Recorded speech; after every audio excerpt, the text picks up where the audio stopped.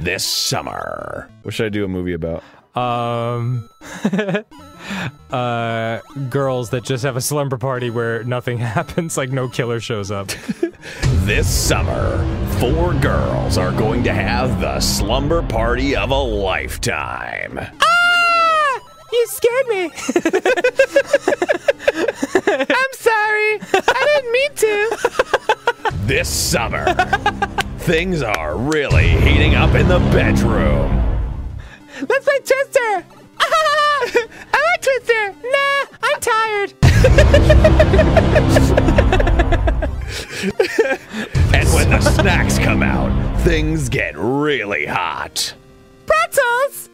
Oh, they're a little too hot.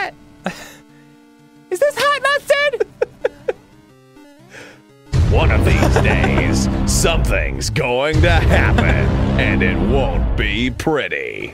My mom's gonna come to pick us up. Okay.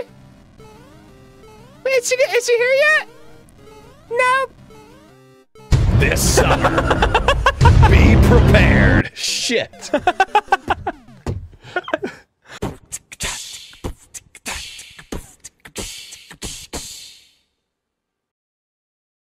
I'm just not feeling it tonight.